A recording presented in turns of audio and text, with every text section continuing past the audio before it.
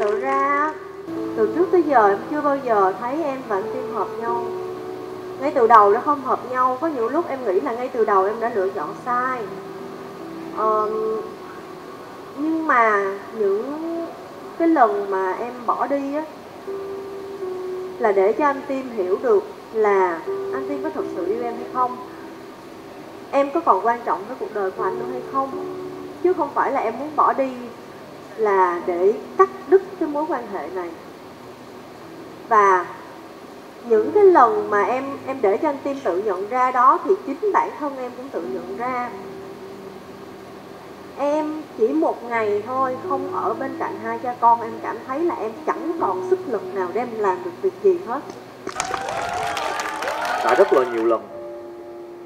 À, rất là nhiều lần khi sau khi cái việc uh, em cầu hôn Quỳnh Anh thì em đã rất là nhiều lần gọi điện thoại và thuyết phục thuyết phục ba mẹ Quỳnh Anh rất là nhiều lần. Và ba Quỳnh Anh vẫn giữ khư khư một quan điểm là không chấp nhận. Và ba Quỳnh Anh vẫn giữ khư khư một quan điểm là không chấp nhận.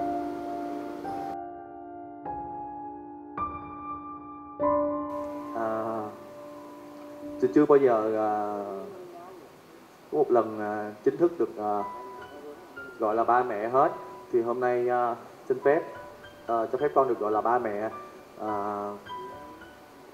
Có những gì mà đã trải qua đã quá khứ thì rất mong ba mẹ sẽ bỏ qua.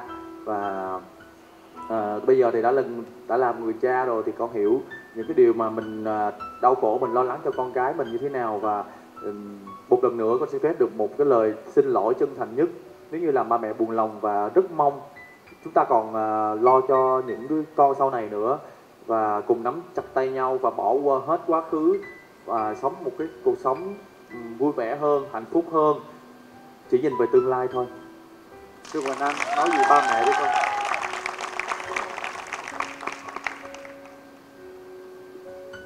Con uh, con không biết nói gì luôn á tại vì con cũng nói với ba mẹ con rất là nhiều rồi con chỉ cảm thấy là con thật sự là một đứa con lúc nào cũng làm cho ba mẹ phiền lòng cỡ kể từ khi mà con lớn lên đó cho nên là con hy vọng rằng là uh, ba mẹ đừng phiền lòng về con nữa và con sẽ cố gắng sống thật là hạnh phúc để chứng minh cho ba mẹ thấy là uh, ba mẹ đã không uh, đã không tin tưởng nhầm con và hy vọng rằng là ba mẹ có thật là nhiều sức khỏe để nhìn thấy được cái sự hạnh phúc của con và của cả gia đình mình. Sau tất cả, mình lại trở về với nhau. Tựa như chưa bắt đầu, tựa như ta vừa mới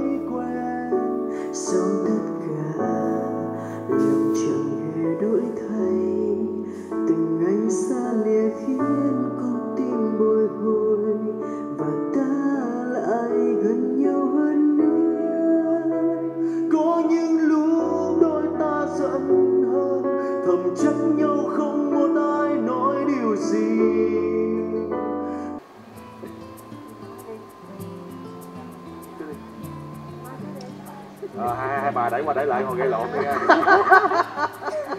Ờ, nãy anh rất là tâm đắc cái ờ, câu nói của cô Kim Xuân em nên mạnh mẽ quyết định trong cái chuyện này. Anh có thể chờ đợi em được. Nhưng ờ, em biết có những điều á không phải mình muốn là được. Anh chỉ mong em trân trọng gia đình này